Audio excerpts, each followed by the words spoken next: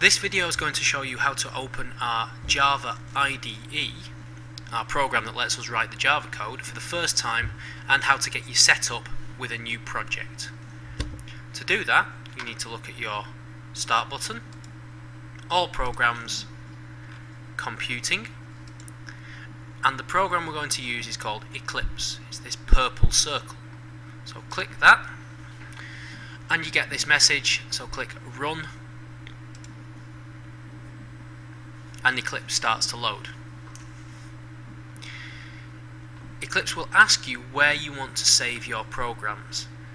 Now normally we'd save these in your user area in a um, in the right folder for this project but there's a little problem with Eclipse or a little glitch with Eclipse that means we're going to save them here instead so make sure it says n colon forward slash java programs do not tick this box please and then click OK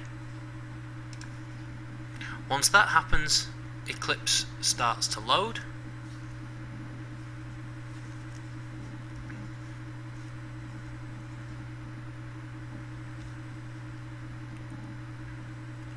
And I've already used Eclipse before, so I don't see the welcome window, but you might have a window with welcome and some little icons on it.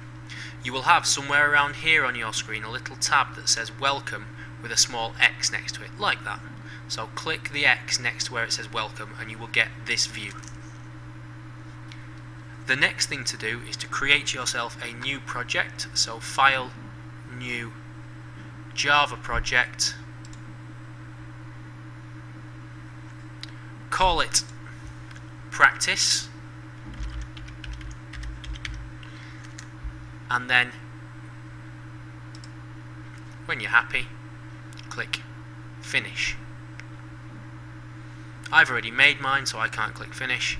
Um, once you're ready once you've done that you're ready to move on to the next section of this project hello world